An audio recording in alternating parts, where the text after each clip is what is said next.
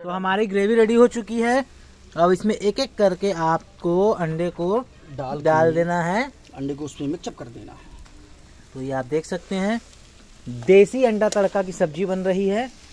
जो खाए वो भी पछता है जो ना खाए वो भी पछता है। खा के कैसे पछताएँगे? हो गया। जब निकाल ले जाएँगे। डाला जाए। पानी। ना। डालो प्रीति पानी डालो।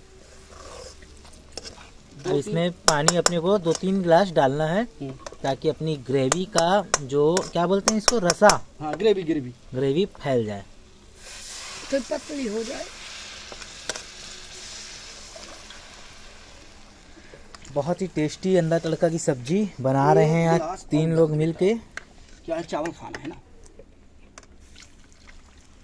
ये हो चुकी है हमारी ग्रेवी रेडी। देखो। तो अब पूरा अच्छे से चलाओ ना हम देखें तो पकड़ेगी ना अभी थोड़ा बहुत। थोड़ा सा प्रीति अभी तो डालना और बन रहा है मुझे भी लग रहा है ना लाजमी है अभी थोड़ा सा डालना।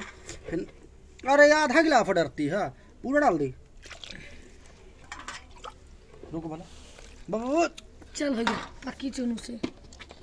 अब इसको पकने के लिए अपन को ढाक के छोड़ देना है। नहीं यार।